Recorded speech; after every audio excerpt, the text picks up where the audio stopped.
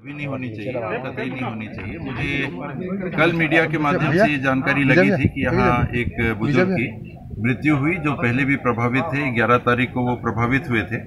और अस्पताल में भर्ती होने के बाद ठीक होके ज़रूर आए थे लेकिन फिर उनकी तबीयत बिगड़ी। और जब ले जा रहे थे तो ये एक अभिशाप के रूप में रेलवे लाइन बीच में आ गई है। यहाँ से लोग पास नहीं कर पा रहे। रेलवे विभाग को भी संवेदनशील होके इसमें ओवर ब्रिज अंडर ब्रिज या वॉक ब्रिज कुछ ना कुछ नागरिकों के लिए उपलब्ध कराना चाहिए।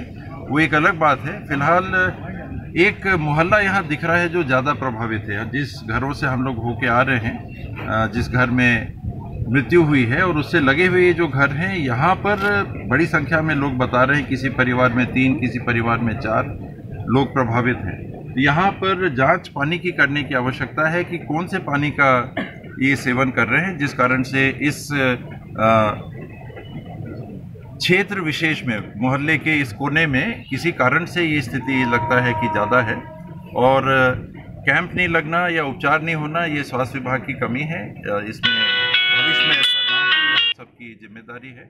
और, मैं देखूँगा कि इसमें कमी ना आए।